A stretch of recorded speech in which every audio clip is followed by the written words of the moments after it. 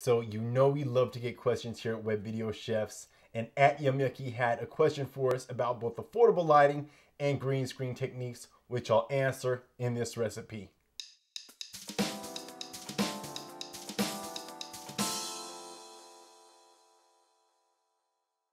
So at Yum Yucky hit me up on Twitter. She asked about some affordable um, lighting techniques as well as some green screen techniques now, I haven't really produced any videos on affordable lighting, so I sent her a link to a couple of other YouTube videos, but I figured other people might have some questions as well, so I'll do my best in this video.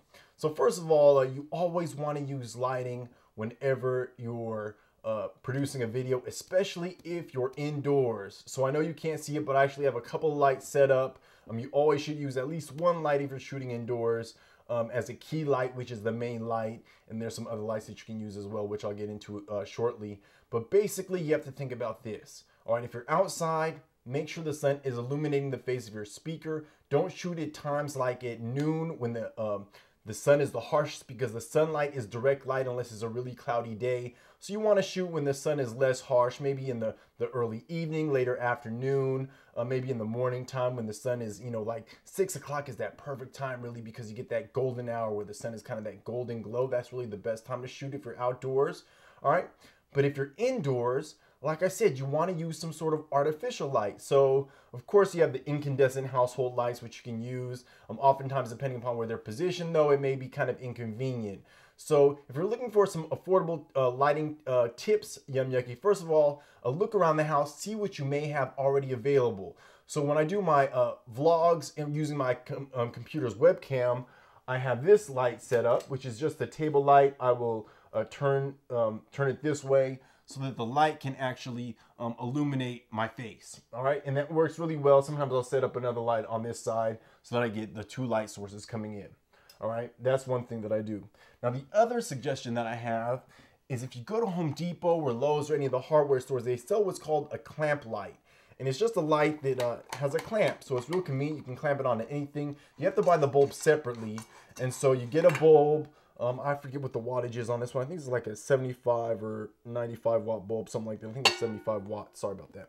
All right, and so you get the bulb, and um, I would say get at least two of these. Um, get two bulbs, and then uh, what you can do is you can get like if you have a tripod, you can use your tripod like this as your light stand, and it works really great. Now, you want to use at least one light. I would say possibly two because with professional lighting, what pro pros do is they will use one light is the main light, which is called the key light. A secondary light will be called, is called the fill light. And what the fill light does is set, set opposite of the key light. So let's say if this is the, the key light, you put the fill light opposite uh, because it'll fill in the shadows because the key light will cast shadows on the face. So use the fill light to fill in and get rid of the shadows. And then a lot of times what pros will do is they'll put a backlight or a hair light behind the subject and that really causes some highlights, causes the, the subject to kind of pop and stand out from the background. All right, but um, hopefully that answered questions about the lighting. Now let's talk a little bit about the green screen. All right, so now I'm in front of a green screen. And basically, let me explain first of all what the green screen or chroma key technique is um, so that you understand it. Um, in film and both video production, if you place an image in front of a, a certain color background, in editing or in post-production, uh, the editor, and if it's on live TV, you can also do it, uh, but the editor will remove whatever particular tone or color they want to remove and then replace it with another image. So the reason why blue and green are generally used, you might, you know, have heard of blue screen or green screen, is because those two colors are the furthest or farthest away from skin tones. And you don't want skin tones to be keyed out because if you're keying out a, a, someone and it's similar to their skin tone, then the person will become transparent.